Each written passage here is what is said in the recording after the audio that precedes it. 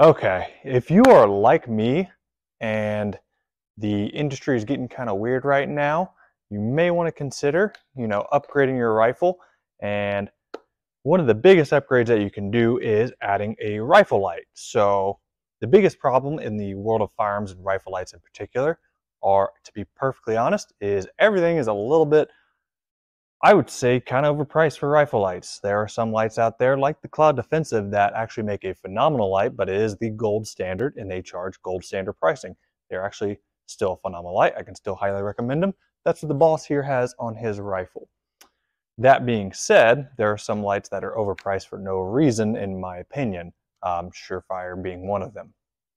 Still a good light.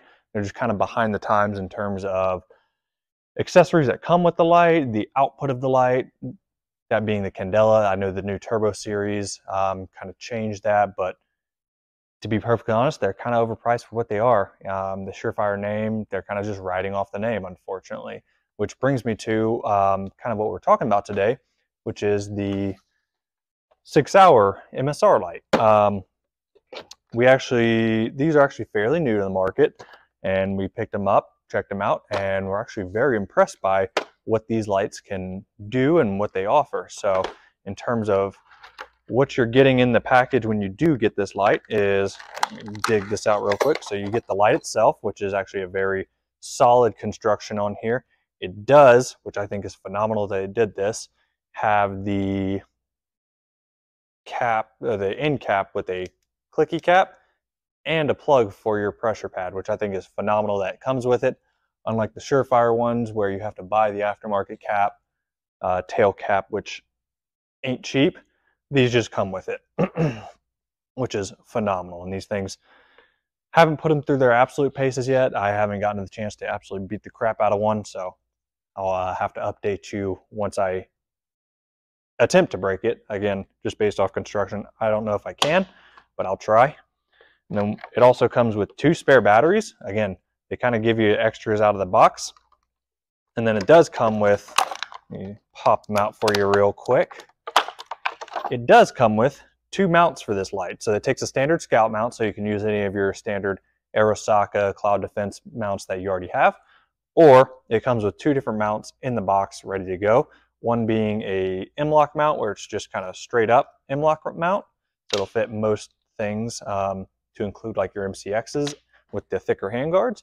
And it does have an offset Picatinny mount, so you can just hang that thing off the side of your rail and run it like that. So they give you mounting options, which is awesome, straight out of the box. Again, both M-LOK and Picatinny. A bunch of companies nowadays aren't even doing that for much higher price lights. And then it does come with a little wire management piece. Again, not super fancy, but it's neat that they throw it in there. And I'm my opinions on SIG are fairly well known on their products. So again, this kind of came out of nowhere and surprised me. Um, and then they do also come with, and this is another very exciting part right here. dig this out real quick. Um, the pressure pad that it comes with is, is, actually very similar to the mod button if you've used one of those or if you came in and see my rifle. I use the mod button on mine. Um, very similar to the mod button, which is actually impressive um, and very nice button, very tactile. Um, does take a Surefire, I forget what these are called, the crane plug or Surefire plug. Um, the same plug that they use on Surefire lights or your mod lights or anything like that.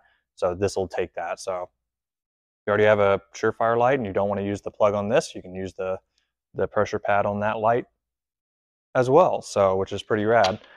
And then also these two batteries, they are actually rechargeable 18650s and it does come with your charging cable. I so I've forgotten to mention that the output on this light is 1350 lumens with 33,000 candela. So not the highest uh, lumen or candela out there, but still incredibly usable. Still get a very nice noticeable hotspot.